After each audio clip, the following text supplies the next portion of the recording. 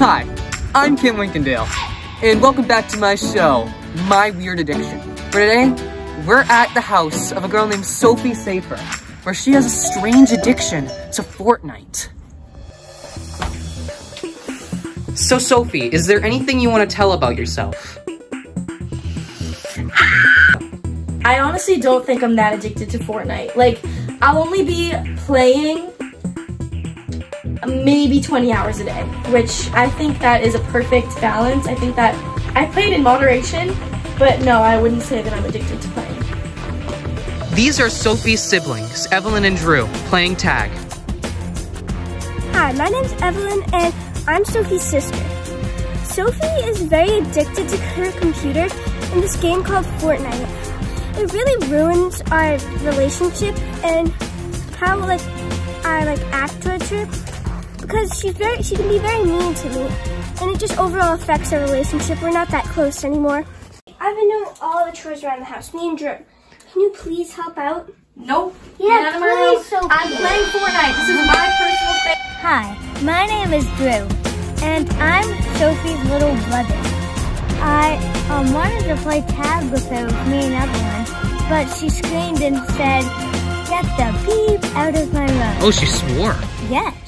Do you want to play tag with me and Get out of my freaking room. Dang. Playing Fortnite. Wow, looks like I have my work cut out for me. Well, looks like Sophie's humble abode is right there.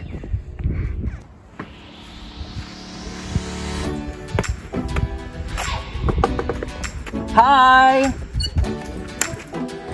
Oh my god, it's so nice to meet you!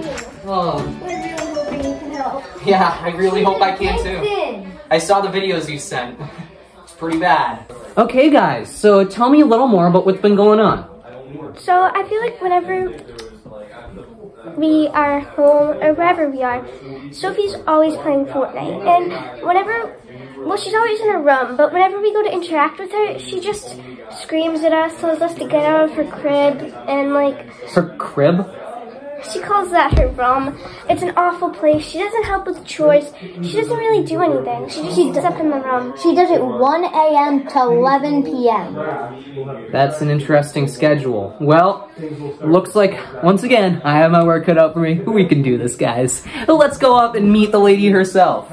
Let's go. This is Sophie's room. As you can see, she has a lot of gamer stuff. And she is still playing Fortnite. Some people think I'm a little hard on my patients, but trust me, it's all about the process.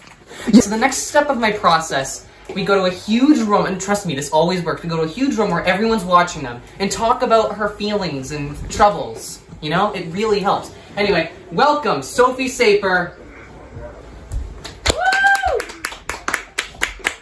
Hello, Sophie. Are you ready to let this part of your past, your Fortnite-ness, out of here? Just make it better. Okay, well, I'm already in a pretty bad mood because I had to get off Battle Royale for this interview, so off to a great start. Pretty soon, you'll forget all about that and remember it's just a game.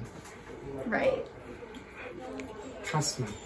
Now, tell me a little bit about your emotions and like why you're so into this game. do, you, Well, do you want to pet the dog? It helps. Uh, yeah, sure. So, um, okay, guess the dog doesn't like me. Um, I actually played Fortnite for he the doesn't first like a lot of time. I played Fortnite for the first time when I was 13. Um, my friend actually introduced me to it, and I just thought it was like everything down to the minute details of it, like the the strategy, the the digital aspect of it. Just I had a huge fascination with the game. I thought it was so cool, and I actually played on my Nintendo Switch, and then my Nintendo Switch broke, and I was Okay, okay. So, tell me, um, the crux of your problem. How come you just cannot get off of your chair and look and touch know. grass? That's what our main. Honestly, there's something about just being in a dark room, putting on my headphones, and just getting in the zone. Like time goes by differently when I'm when I'm on the game. time goes by differently. I'll be playing from 9 a.m. to 2 a.m. all day. I see.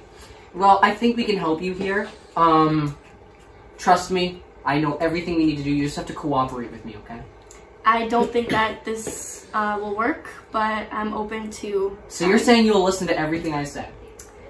Do anything I say? As long as I can play Fortnite in moderation, then I'll yeah, that's the goal here. We're not going to completely get rid of Fortnite. We're just looking to moderate your time. Make Okay. it so you have a life, you know? All right. So, you know, shower a little bit. Okay, so next step. I'm gonna bring Sophie to the outside world to the first, for the first time in years. Okay, Sophie, you ready? Yep. To breathe in actual air? I'm not ready. not just slurp juice? Okay, here we go. Ready. How? So like, where's all the chests and stuff? Like, how do I get a gun out here? So the first thing we're gonna have you do is you're gonna step down onto this grass, bend down, bend over, and touch it. Interesting. Doesn't it feel nice? It feels exactly like what it would feel like if I were in Fortnite in real life. Yeah. Um, good. So, you do realize that Fortnite didn't create everything. What do you mean? Yes, it did. Fortnite is everything. Fortnite is is God. Fortnite is everything. You see, here's an example. So you know Thanos? You Yeah. know how he was a skin in Fortnite? Yeah. That was actually created, that character was created years before Fortnite even existed.